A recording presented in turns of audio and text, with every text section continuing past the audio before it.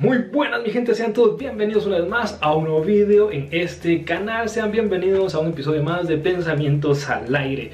Aquí saludándoles el querido tío Geek Quiero compartir con ustedes un tema bastante interesante. Si bien yo no soy un analista de arte, aunque sí me gusta mucho De hecho he pintado algunos cuadros, eh, también me gusta mucho el dibujo, etc Bien, no soy un experto en arte, eso ya todo el mundo lo sabe y quien hace este tipo de videos no es sino el gran maestro Antonio García Villarán, a quien le damos tributo aquí. Por si no lo conoce, suscríbete a su canal que es Bomba, es un tipo crack. Muy bien, pues estaba en la tarde leyendo noticias porque soy otra cosa que me gusta mucho, es informarme un montón acerca de lo que está pasando en el acontecer mundial. Me topo con una noticia bastante interesante, me voló la cabeza y es el absurdo de lo absurdo.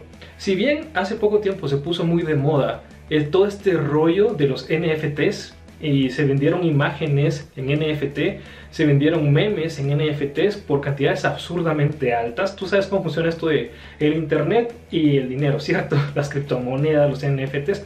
Bueno, pues hoy me voló la cabeza porque un concepto completamente nuevo acaba de surgir, literalmente, te lo digo, de la nada.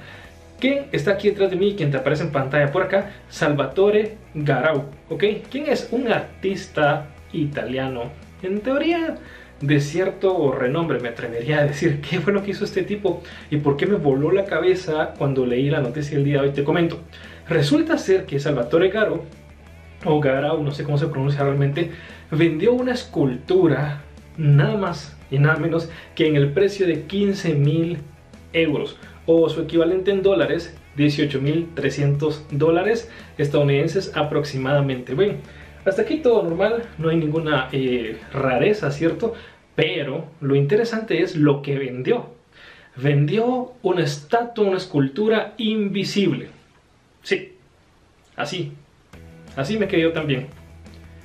¿Cómo que vendes una escultura invisible en nada más y nada menos que 15 mil Es decir, yo te vendo aquí el elefante invisible que está detrás de mí. Te lo puedo vender. Si tú quieres comprarlo, lo pongo en subasta hoy por la noche y espero ganar algo de lana con eso, de dinero, de plata, de billuyo. Me parece absurdo, es en serio. Pero aunque te parezca absurdo, hay ciertos fundamentos detrás que quizá te terminen de convencer o al menos te dejen pensando un poquito como fue en mi caso. Muy bien, te voy a comentar, Salvatore Doro pues hizo esta escultura, sus dimensiones, es decir, me refiero a su tamaño, es grande, ¿sabes? Te cuento, mide un metro cincuenta por un metro cincuenta. Sí, ¿cómo se llama esta escultura? Se llama Io Sonno. Nuevamente, Io Sonno. ¿Por qué los italianos hacen así cuando hablan? Es una expresión bellísima. Muy bien, Io Sonno se llama la escultura que él hizo. En, eh, traducido al español se, dice el yo soy, o sea, yo soy, Io Sonno. Muy bien, eh, mide un metro cincuenta por un metro cincuenta. En teoría es un es eh, eh, cuadrada, ¿no? Como un espacio cúbico, que se llama el iosono. Bien, él dice que en sí el hecho de que sea invisible no representa que no sea nada, ¿ok? Que no sea nada. Porque él está fundamentando su creación, su, su no sé cómo llamarle, su obra, ¿cierto? La, la fundamenta en un principio, ¿sí? Hay un principio que es el principio de Heisenberg. ¿Ok? Así como el de Breaking Bad. El principio de incertidumbre de Heisenberg, ¿qué es lo que dice? Que si bien el espacio como tal suele estar vacío, aún ese vacío que nosotros detectamos en nuestros ojos como vacío, está lleno de energía. Y de tal cuenta, esa energía en cierta forma constituye quizá no materia física, pero sí un elemento que está ocupando el espacio. ¿sí?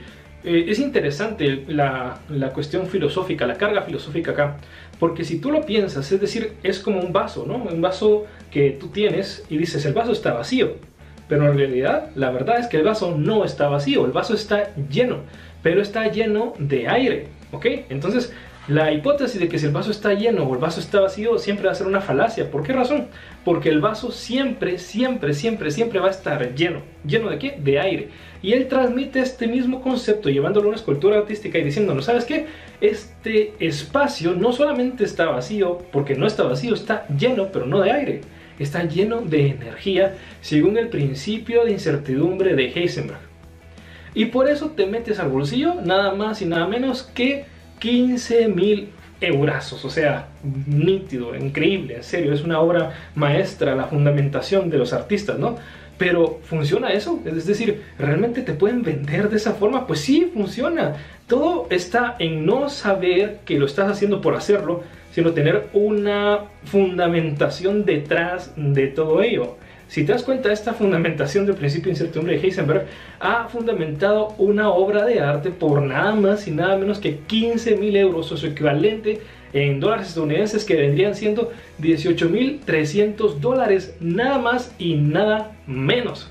Así que mis queridos amigos, eh, hoy hemos aprendido bastantes cosas, pero lo que más me llama la atención es no solamente se trata de hacer las cosas por hacerlas, sino en que en teoría encontrar un propósito detrás de ellas por absurdas que puedan parecer, porque por absurdo que para ti pueda ser, puede llegar a darte una buena cantidad de dinero. Así que si no lo sabías, ahora ya lo sabes. Y bueno, eso es todo. Qué gustoso haber estado contigo el día de hoy.